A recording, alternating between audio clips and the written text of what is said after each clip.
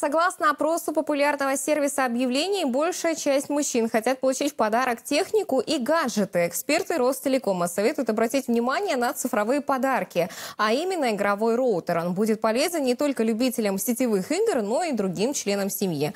Анна Рабчук подробнее.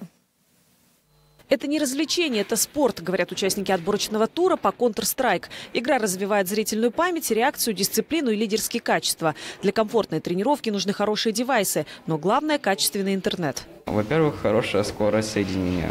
Во-вторых, чтобы он был бесконечный чтобы играть было, можно было долго. Провайдеры подстраиваются под нужды геймеров, совершенствуют оборудование для доступа в интернет, создают новые сервисы. Так Ростелеком предлагает инновационный роутер, который объединяет в себе все необходимое для игроков. Геймеры – это та аудитория, у которых в приоритете быстрый интернет. Специально для них Ростелеком разрабатывает экосистему игровых сервисов и технологий. Среди них тариф игровой и специальный роутер с искусственным интеллектом. Домашний Wi-Fi роутер стал совместной разработкой Ростелекома и компании Huawei. Благодаря искусственному интеллекту приоритет трафика у геймера. Роутер предоставляет ему максимальное качество и скорость выхода в сеть.